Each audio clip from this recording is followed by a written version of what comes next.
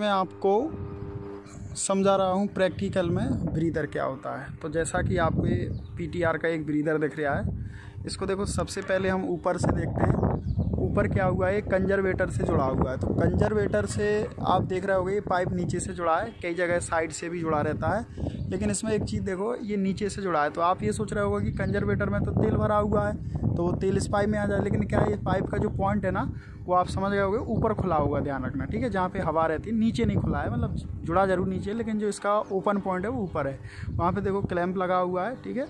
ग्लैक्स भी लगी है, कभी हटाना होता है तो अपन हटा लेते हैं। इस तरीके से देखो यहाँ पे आ गया। अब यहाँ पे देखो ये ब्रीदर का, ये चूड़ियों की तरह ऐसा कसा हुआ है क्लैम्प से। इससे क्या होता है, हम हटा भी सकते हैं, इसको कभी जब हटाना होता है, और ये पूरा उसके बाद देखो क्या है, पूरा ब्रीदर दिख रहा है अपन को। ये देखो नटों से कसा हुआ है जी हमारे खोले जा इसके अंदर देखो नीला सिल्का जेल भरा है। सबसे पहले हम इसको पास से देख लें थोड़ा सा। ठीक है?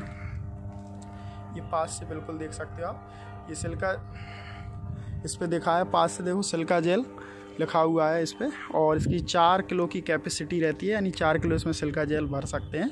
पीटीआर में इतना ही रहता, थोड़ा बहुत और कम ज़्यादा होता है, ठीक है? अब उसके बाद नीचे देखें इसके भाग को तो देखो ये ऑल डिब्बी होती है, मैंने आपको बताया। ये ऑल की एक छोटी सी डिब्बी होती है और ये छिद्र दिख रहा है ना, यहाँ से हवा प्रवेश करती है जो, ठीक है? तो ये पूरा का पूरा हो गया है अपना भाग। अब मैं ये बताऊँगा कि ये वर्क कैसे करेगा। अब क्या हुआ, मान ले जाए, हमारा ट्रांसफार्मर पर लोड आया और लोड आने से क्या होगा कि ट्रांसफार्मर गर्म होगा, ठीक है? अब गर्म होगा तो तेल बढ़ेगा तो तेल जैसे ही बढ़ेगा, देखो तो कंजर्वेटर में क्या होगा, तेल का प्रसार बढ़ेगा। अब कंजर्वेटर के वो देखो ऊपरी भाग में, जो हवा होगी ना, अब वो हवा बाहर निकलने पड़ेगी। अब बाहर निकलने के लिए देखो, ये जो पाइप है ना, इसमें हवा आएगी। अब जैसे ही इसमें हवा आएगी तो ये देखो सबसे पहले काय में जाएगी, ये हवा सिल्का जेल में, ठीक है?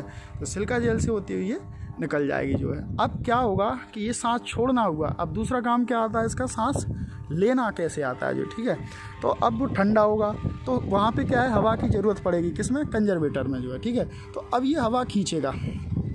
तो ये हवा क्या है? देखो, ये छिद्र दिख रहा होगा आपको। इस छिद्र से क्या है जी? हवा को खींचेगा, ठीक है? अब हवा में क्या होते हैं? कुछ कण होते हैं तो ये देखो नीचे ऑयल डिब्बी लगी ना, इसमें कुछ कण जो होते हैं भारी होते हैं, वो तेल में आ जाएँगे, ठीक है? अब हवा क्या होगी?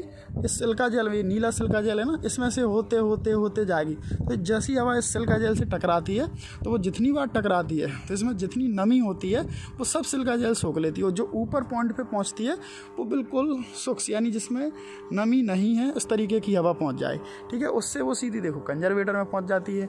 अब हमने ये प्रोसेसिंग क्यों की है कि यदि हम हवा को जो है सुक्स ना उसको सुक्स ना करें। यानी अगर नमी युक्त हवा इसमें चली जाएगी तो क्या होगा कि वो हमारा जो तेल है, तेल की जो वीडी भी है, वो गिर जाएगी जो है, ठीक है? तो इसलिए हम क्या करते हैं कि उसमें सुक्स हवा भेजनी पड़ती है। तो सुक्स हवा के लिए हमें ब्रीदर लगाना पड़ता है। यानी नमी ना हो ऐसी हवा तो इस तरीके से ये ब्रीदर काम करता रहता है। अब मैं सिल्का जेल के बारे में बात करूँ तो देखो ये सिल्का जेल है, ये बिल्कुल नीला है, ठीक है?